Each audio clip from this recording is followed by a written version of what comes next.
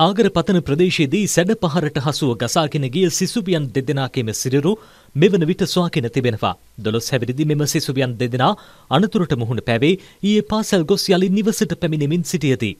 ඔවුන් සැඩ පහරට හසු වූ ස්ථානයට කිලෝමීටරයක පමණ දුරස්ථානයක තිබියදී සිරුරු සොයා කැණුනේ. අධික සුළං තත්ත්වයක් සමග සූරියවැව් ප්‍රදේශයේදී ත්‍රීරෝධ රථයක් මතට ගසක් වැටීමෙන් 31 හැවිරිදි මව දියණිය හා තවත් අයෙකු මිය කියා. අධික වර්ෂාව හේතුවෙන් බොහෝ ප්‍රදේශ ජලයෙන් යට වී ඇති නිසා රත්නපුර නගරය මගහැර විකල්ප මාර්ග භාවිත කරන ලෙසට පොලිසිය ජනතාවගෙන් ඉල්ලා සිටිනවා. රත්නපුර නගරේ ව්‍යාපාර ස්ථාන රැසක් හා අතුරු මාර්ග රැසක්ද ජලයෙන් යටව පවතිනවා. රත්නපුර දිස්ත්‍රික්කයේ පවුල් තුන්සිය තිස්ස එකක පුද්ගලයන් එක්දහස් දෙසිය පනස් දෙදෙනෙකු ආපදාවට පත්ව තිබෙනවා. දිස්ත්‍රික්කයේ ප්‍රාදේශීලේකම් කොට්ටාස දාහතින් දහයක්ම ආපදා තත්ත්වයට ලක්ව ඇති බවයි දිසාපතිනි මාලනී ලොකුපෝතාගම මහත්මිය පවසන්නේ.